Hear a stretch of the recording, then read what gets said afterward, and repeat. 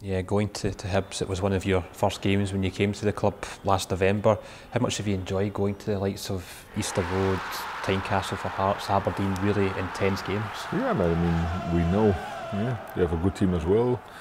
We, we had an intense game last year, which we won by penalty from Kemar just before the end, but it's going to be an intense game on Saturday as well, so we know what to expect, and like I said, we have a, we had a three days preparation towards Hibs. That's really something different than we're used to normally with two days. So the team will be well prepared.